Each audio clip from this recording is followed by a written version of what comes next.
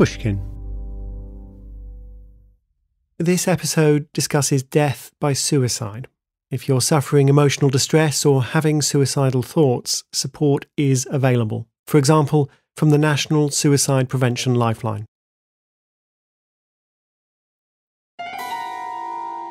In Raymond Chandler novels and in Humphrey Bogart movies, it often begins with a telephone call. Strange to say, in real life, it often begins that way too. Those are the words of William Dear. He's going to take us on an adventure that's full of thrills, surprises, and terrors. William Dear is one of the most famous private detectives in the world, dashing, mustachioed, sporting a vast gold ring. He's a star with his own private plane. And this telephone call, in August 1979, was going to get him started on one of his most infamous cases. On the other end of the telephone was a surgeon from the same part of North Texas as William Dear. The two men had met a few times. My nephew has disappeared. He was taking a summer course at Michigan State University in East Lansing when it happened. And he didn't just run off? He's not that kind of kid. He loves school. In fact, he's considered to be a genius. The boy, James Dallas Egbert III, or Dallas, was just 16 years old. He graduated from high school at 13, entered college at 14. I'm telling you, dear, he's not the type to just go on the road.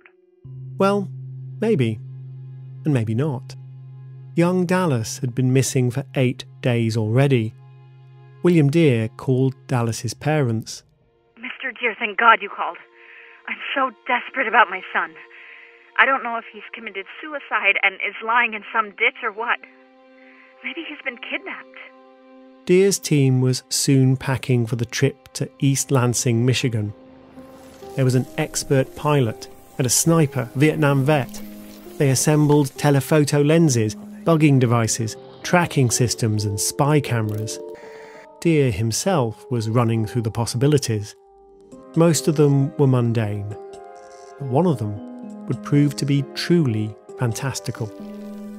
I'm Tim Harford, and you're listening to Cautionary Tales.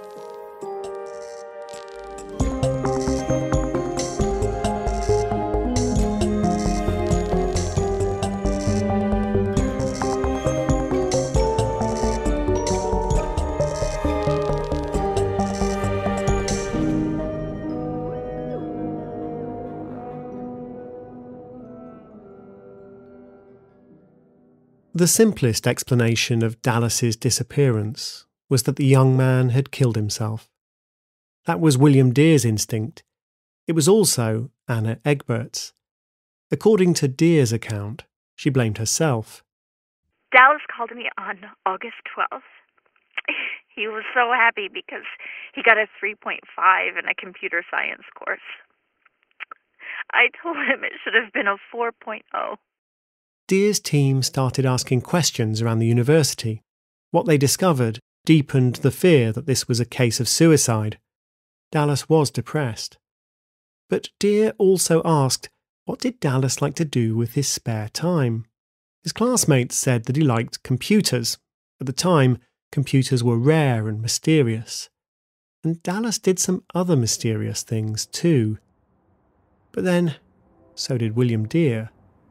For example, when he received an anonymous tip that Dallas used to risk a kind of thrill seeking dare, lying down on the railroad tracks and letting the trains pass over him, Dear decided that he really needed to put himself in Dallas's position. Literally. I laid down on the railroad ties and tried to imagine myself as Dallas.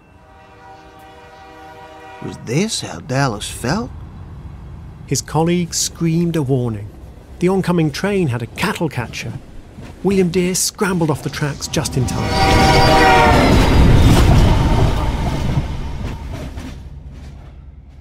No, couldn't have been a train.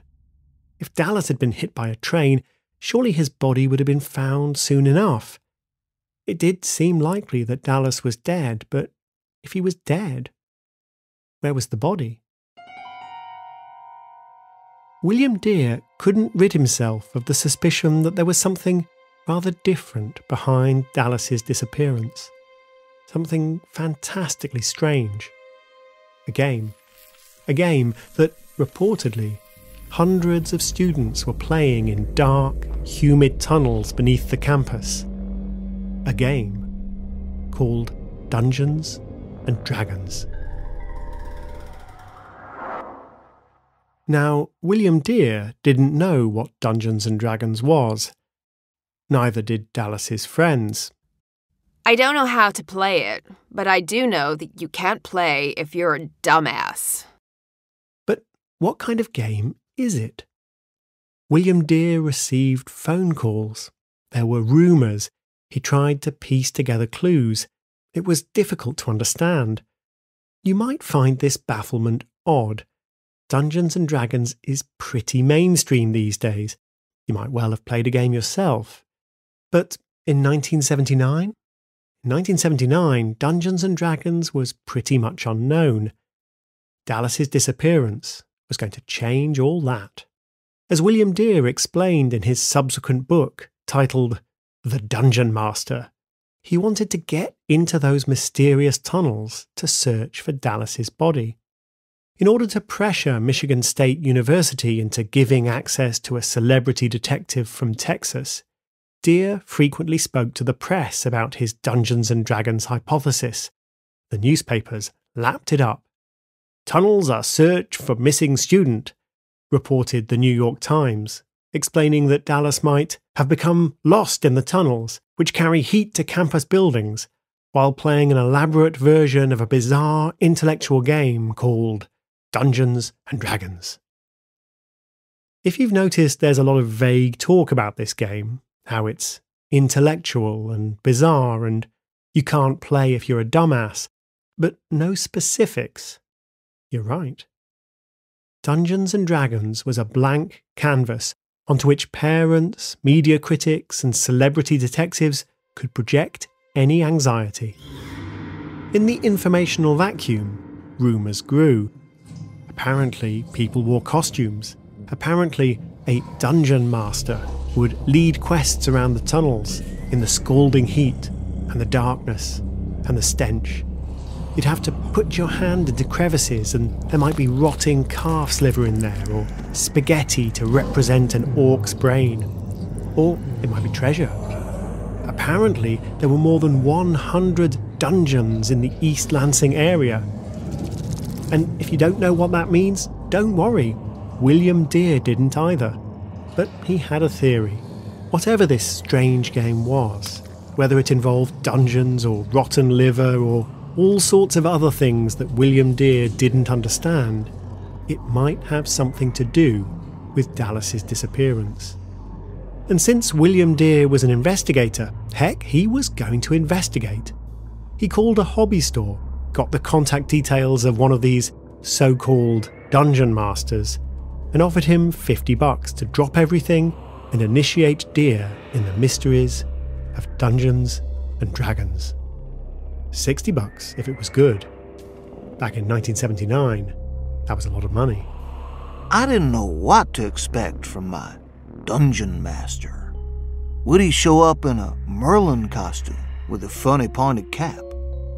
I knew he would have complete control over the circumstances of the fantasy adventure on which I was about to embark.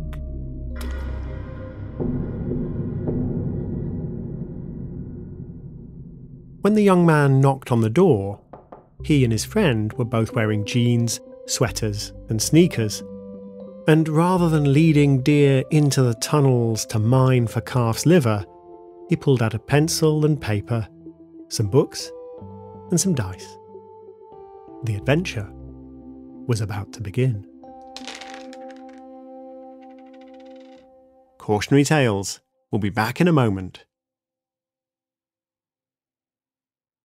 let me tell you about one of the ultimate life hacks.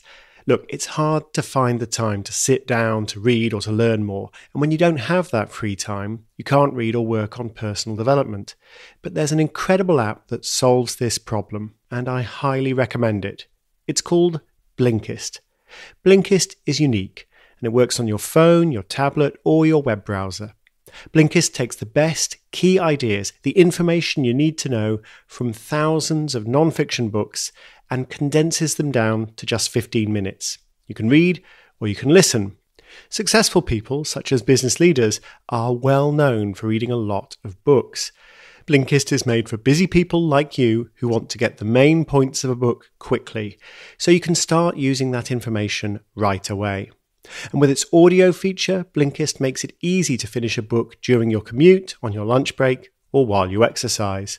12 million people are using Blinkist right now, and it has a massive and growing library, from self help, business, health to history books. Blinkist has the latest titles from bestseller lists, as well as the classic non fiction titles you always meant to read but never had time to.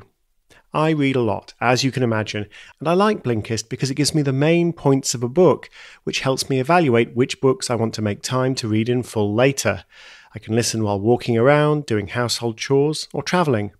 Some books I can highly recommend are How to Have a Good Day by Caroline Webb, David and Goliath by Malcolm Gladwell, and you know, some of my books are on Blinkist too The Undercover Economist, Adapt, Messy, and I think The Data Detective will be on its way soon as well.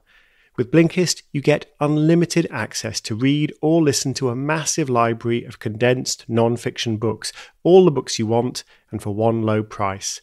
Right now, for a limited time, Blinkist has a special offer just for our audience. Go to blinkist.com slash tales Try it free for seven days and save 25% off your new subscription. That's Blinkist, spelt B L I N K I S T, blinkist.com slash tales, that's T A L E S, to start your free seven day trial.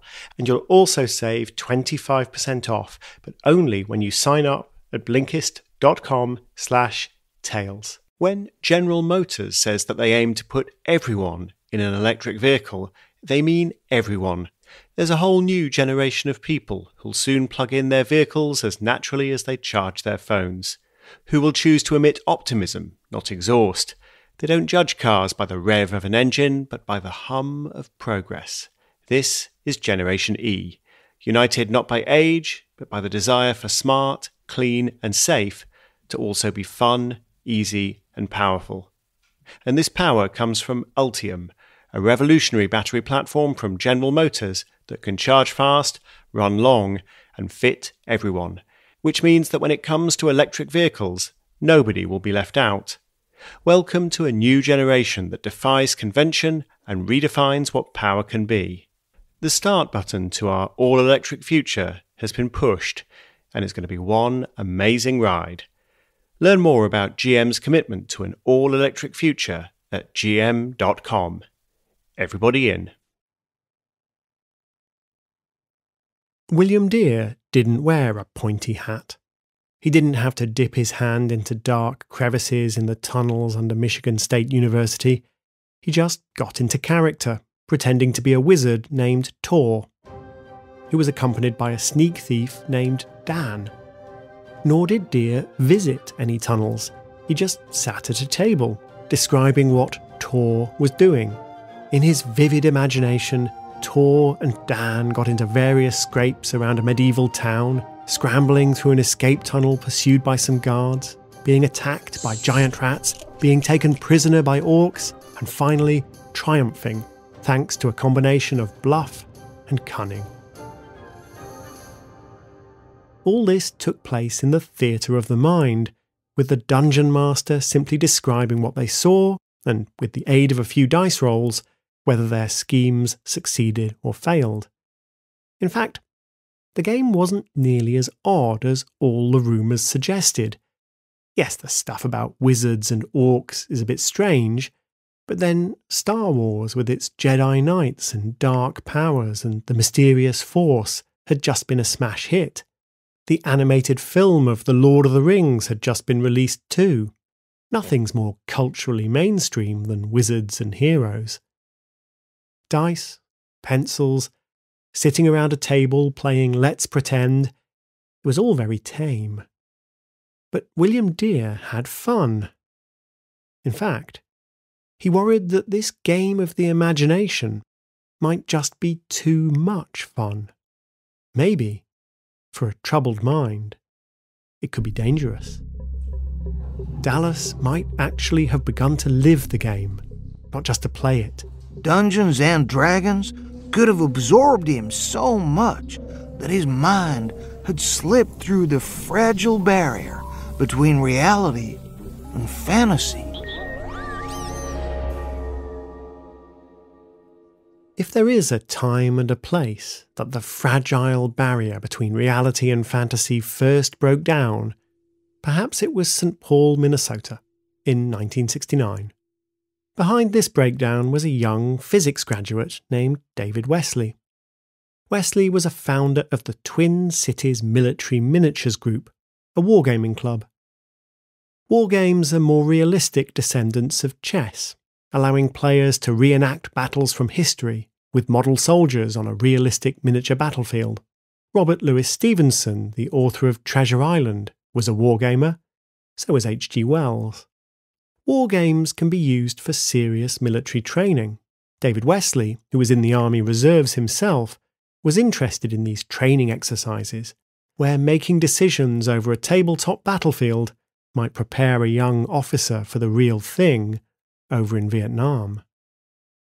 To be useful, a training wargame couldn't be restricted to a limited set of moves as in chess. Players should be able to dream up all sorts of tricks and tactics, which meant the game needed a referee to use his or her judgment when a player tried something unusual.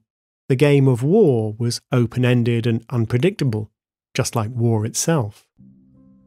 In a war game set in 1806 in the fictional Prussian town of Braunstein, David Wesely took this open endedness to the next level. As with a normal war game, he put players in charge of Napoleon's French army and the Prussian resistance. But then he assigned rather more unusual roles one player, for example, was given the role of the Chancellor of Braunstein's University. What could he do? Well, anything. He didn't command any troops, but he could rally the students and urge them to join the resistance, or he could challenge another player to a duel, perhaps over the affections of a lady. Another player's character started in jail. Any of these players could attempt anything. Wesely, as referee, had to improvise. The experimental game was a chaotic series of whispered conferences between the players and Wesely, the referee. It took ages, and the French and the Prussians never even fired a shot. Not so much a war game as a phony war game. Wesely felt like it had been a flop. But then the players told him they loved it. One of those players was Dave Arneson, who seized Wesely's idea with both hands.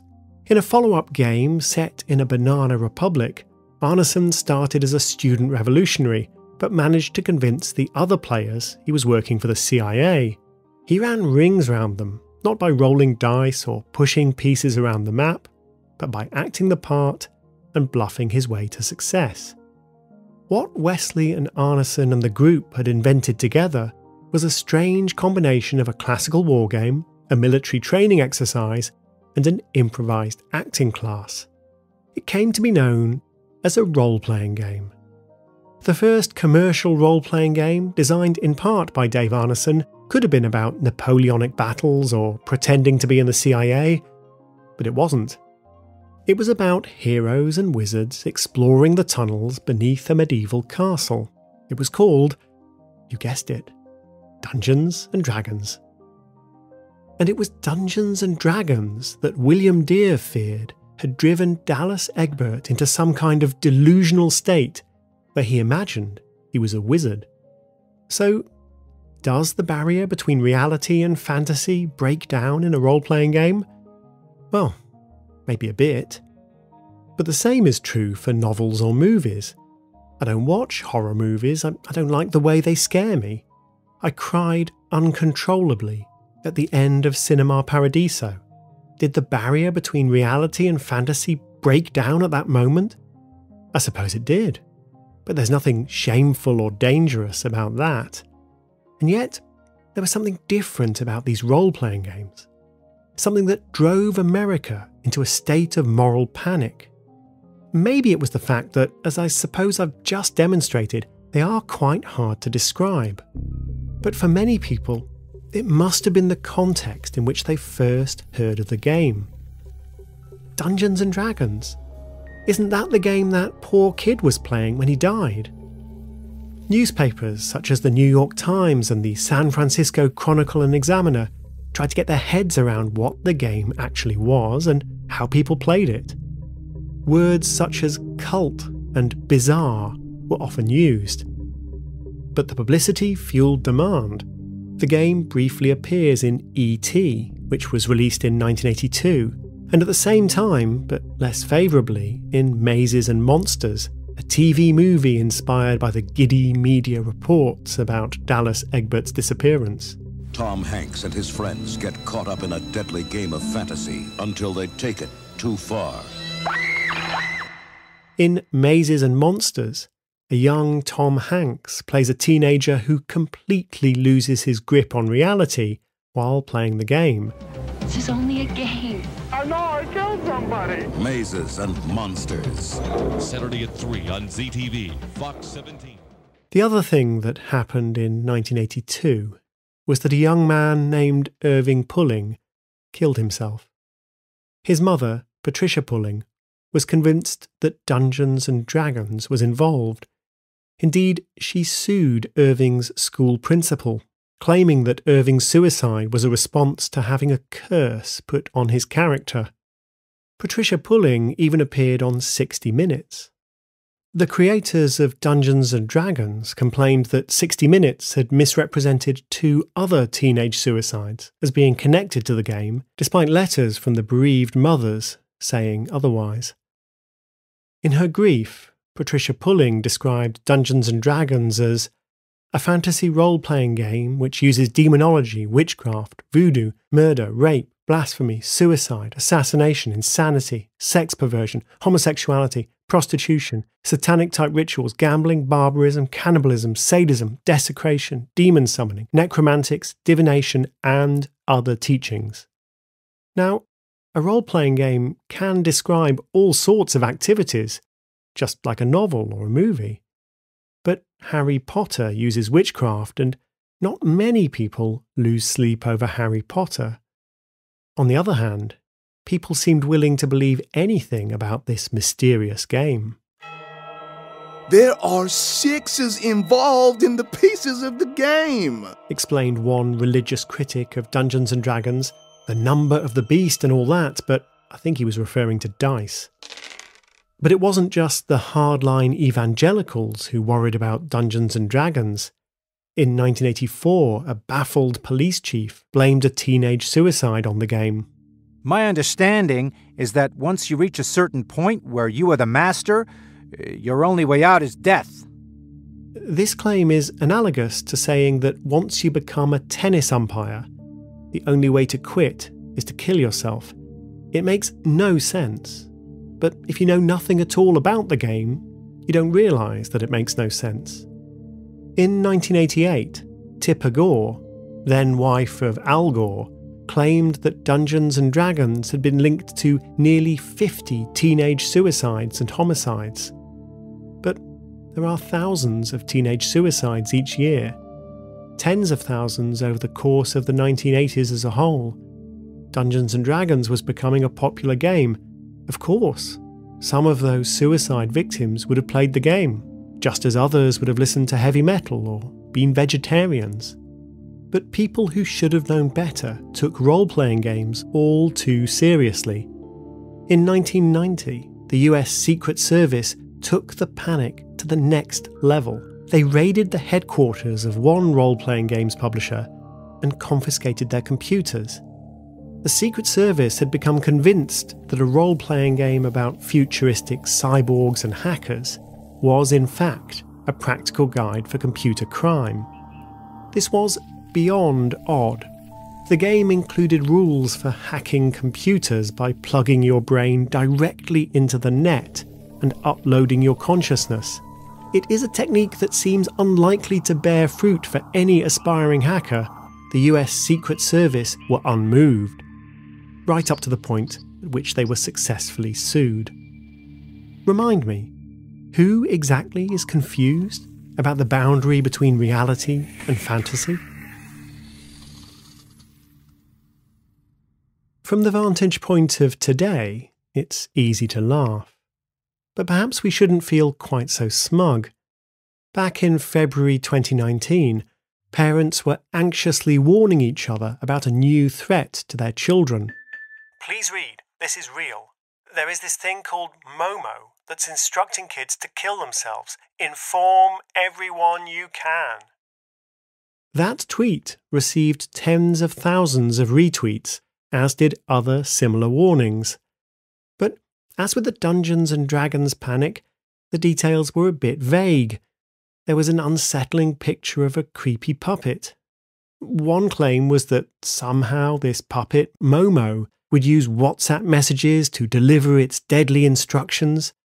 Another was that children's television programs had been hacked, although what exactly that meant wasn't clear. Schools sent out messages of warning.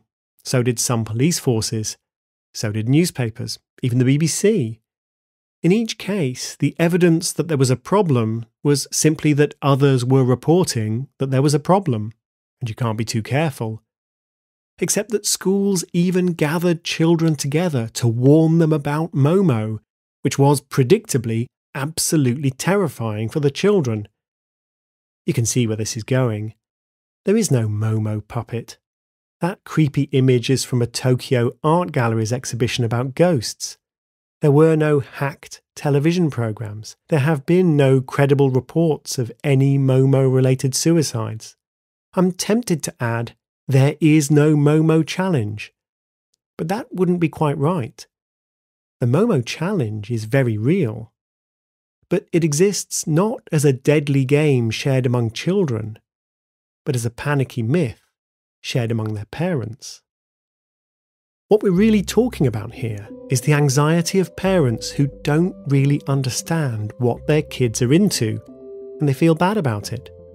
That's just as true today as it was a generation ago, when the panic was not about WhatsApp, but about wizards.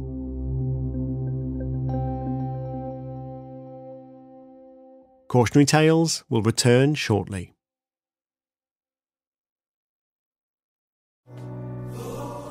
When we feed our communities, we're feeding more than hunger.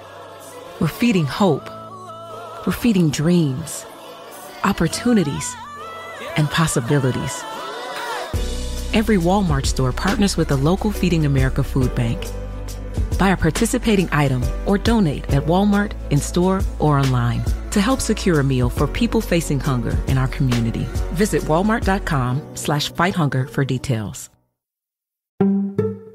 Hey there, it's Mango, host of Part Time Genius, co founder of Mental Floss, and host of the award winning podcast, Humans Growing Stuff, a collaboration with iHeartRadio and your friends at Miracle-Gro. I'm here to share some exciting news. Humans Growing Stuff is returning for season two, and we'll have brand new episodes featuring plant experts, master gardeners, new gardeners, plenty of fresh ideas, and as always, some very human experiences. I had thought about having my own garden in my own yard, but I never thought big enough to have something for bartenders and make it a community effort. Oh, gardening makes us better humans. There is something about being a part of nature, being it, playing an active role in nature that I don't know that you can get in very many other places. Love, peace, and propagate. Be sure to listen to Humans Growing Stuff on the iHeartRadio app, Apple Podcasts, or wherever you get your podcasts. In 1985, the cultural critic Neil Postman published an influential book, Amusing Ourselves to Death, in which he lamented the effect of television on the intellectual, cultural, and political life of the United States.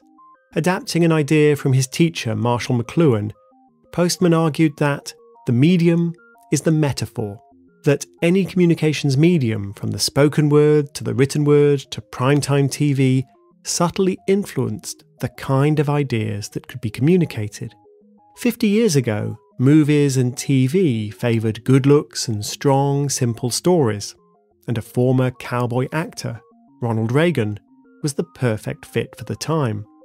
It's easy to read Postman as a prophet of inevitable cultural decline, with each new medium stupider than the last. But decline is not inevitable. Consider how TV drama has been changed by the availability first of affordable box sets and then on demand streaming. TV producers would have to assume that people would miss episodes, and so would make simple, predictable episodic comedies and soap operas. Now, writers and directors can reasonably expect that people will catch up on any episodes they missed, or even binge watch an entire season in a weekend. The result? Longer, more complex story arcs, and characters who grow over time. This isn't the result of some sudden cultural hunger for more sophisticated storytelling. A subtle difference to the medium also changes the metaphor. Movies invite us to value beauty and classic story arcs. Streaming TV drama valorizes complex plots and character development. And reality TV thrives on attention seeking and treachery. So then, what is the underlying metaphor of a role playing game? The games demand imagination. They're collaborative, you can't really play by yourself. They're active rather than passive. If you sit back and watch, nothing happens. You need to create, not just observe the creativity of others. A collaborative, imaginative, and actively creative pastime doesn't sound so bad to me. After all, we're constantly being told of the importance of creativity, the creative class, the creative economy, or simply the need for every child to be creative in school. And yet, when we actually see some creativity, we can't quite comprehend what we're looking at. Back in 1979, Dungeons and Dragons seemed to be a bit too creative for William Dear and the journalists and commentators who were intrigued by his theory. The story became bigger than Dallas Egbert himself, and the question of what happened to Dallas was forgotten. Mazes and Monsters, for example, the movie in which Tom Hanks's character becomes utterly delusional, stabbing someone, hallucinating monsters, and trying to leap from the top of the World Trade Center! What are you doing? I'm going to fly. is often thought to be loosely based on Dallas's disappearance. JJ, what am I doing here? Kate, why can't I remember? Let's just say that in this case, the fantasy and the reality are a very long way apart. Reading William Dear's breathless book, The Dungeon Master, it's easy to be carried away with the tales of gadgets and stakeouts and lying down in front of trains. But when you have time to stop and read carefully, the story becomes a lot more mundane. When I first heard about the steam tunnels beneath Michigan State University, I imagined students exploring inside huge steam filled pipes. But when I looked up steam tunnels on Wikipedia, I was redirected to an entry on utility corridors, which is a rather more prosaic name. The corridors contain hot pipes, but nobody gets inside the pipes themselves. William Dear describes the tunnels as stinking, hellish, and deadly. Lieutenant Bill Wardell of the MSU Campus Police told the Washington Post, They're hot and dirty, but not as bad as he portrays them. Utility corridors have existed in various universities since the 1920s, and students have been messing around in them long before Dungeons and Dragons existed. A team of men, including William Dear, explored the tunnels thoroughly. Dallas wasn't down there, but he had been missing for weeks, and it was increasingly hard to see what rolling dice around a gaming table had to do with that. Dallas Egbert's parents seemed to publicly accept William Dear's media friendly theory about a Dungeons and Dragons game gone wrong. But Dear's investigations brought more straightforward possibilities to light. Dallas had a drug habit, so perhaps a drug deal had gone awry. And Dallas was also a member of the Campus Organization for Gay Students. William Dear mused about how what he called the gays might somehow have been involved in Dallas's disappearance.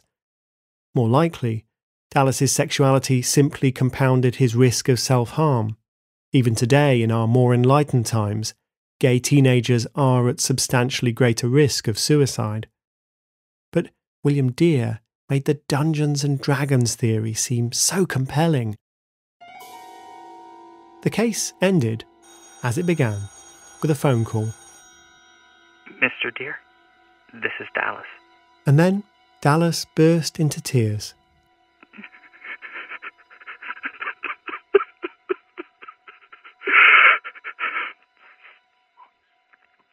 Soon enough, he was reunited with his parents, and William Dear was fending off a pack of news hounds desperate for the scoop. It was simple enough. Dallas had indeed been severely depressed, and he had indeed tried to kill himself.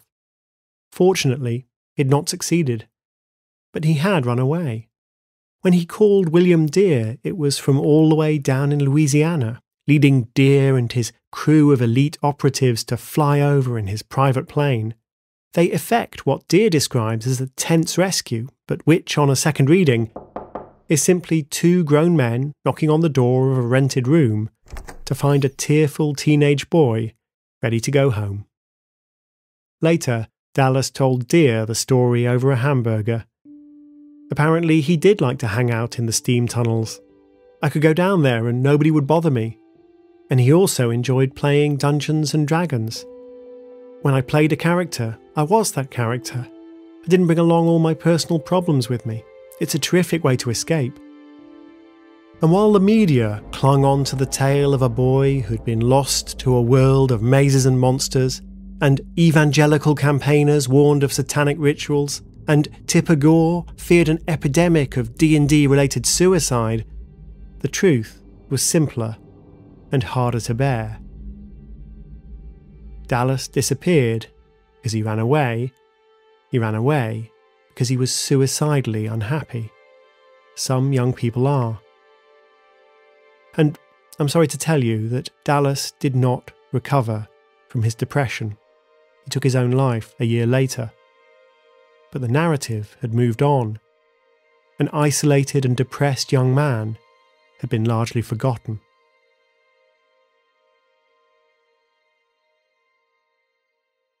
I have a confession to make. I too am a role player. I can't imagine you're terribly shocked. But I love these games. To me, they're as important a creative outlet as writing my books or this podcast. And not everyone gets to publish a book or present a podcast with respected actors and its own composer.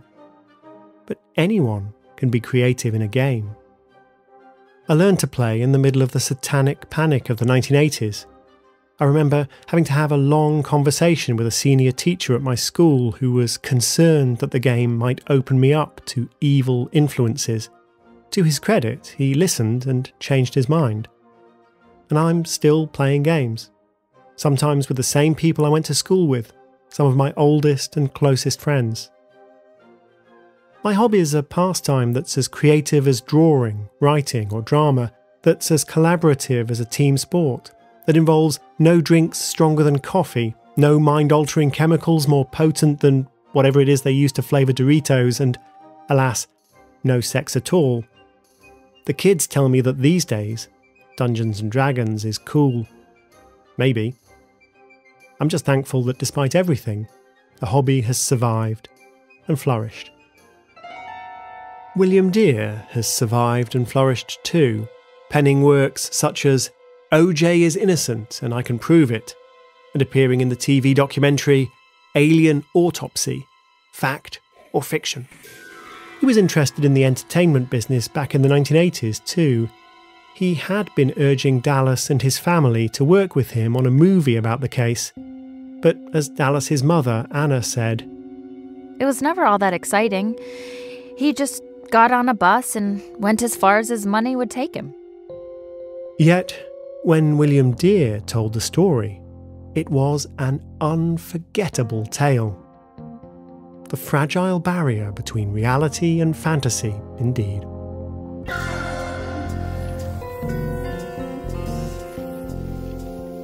The key sources for this episode are Of Dice and Men by David Ewalt and Playing at the World by Jon Peterson, and of course, The Dungeon Master by William Dear. For a full list of references, see timharford.com.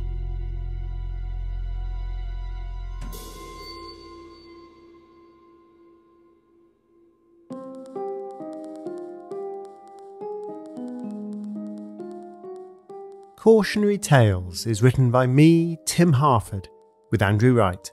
It's produced by Ryan Dilley and Marilyn Rust.